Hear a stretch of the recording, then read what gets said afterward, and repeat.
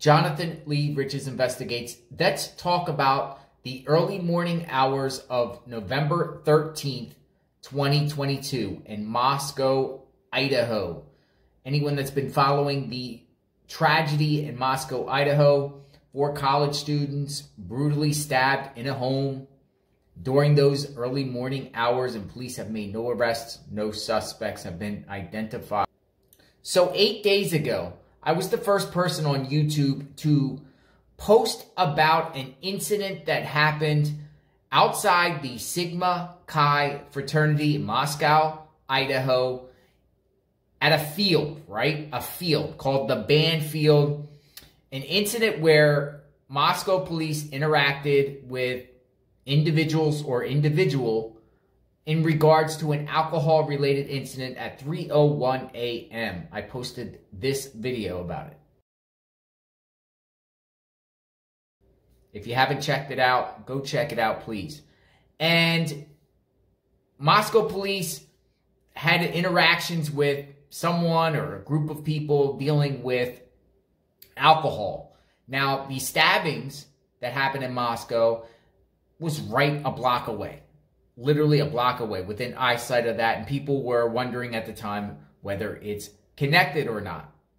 Police came, came out recently and said it's not related. The authorities just released the body cam of that incident. The body cam footage from the officers, they apparently were interacting with three juvenile or three young men. I'm not going to say juvenile, but three younger people and they ultimately got a citations. But I want to show you something about that body cam. I want to show you about I want to show you something and then we're going to discuss. So check this out.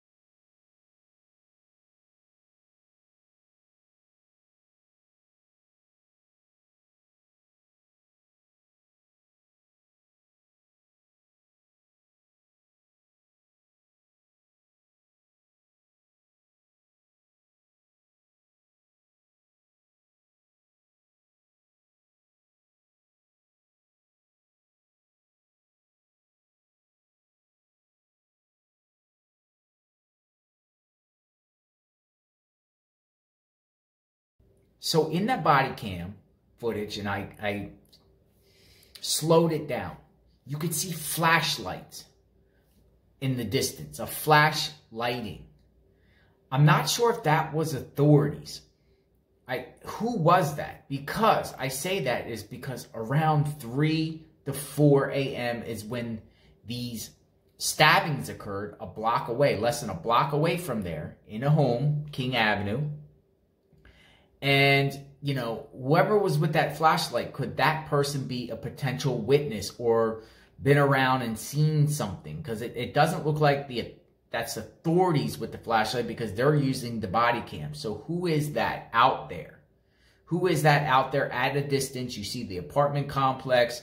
I saw a white car. Um, what's going on with that?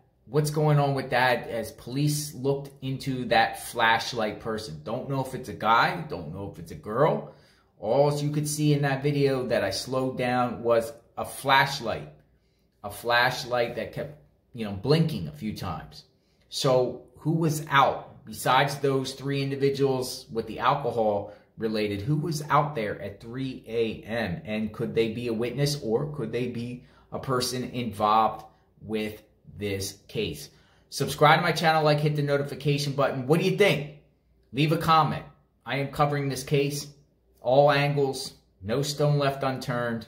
What happened in Moscow, Idaho during those more early morning hours? Police have made no arrests and the community's on edge.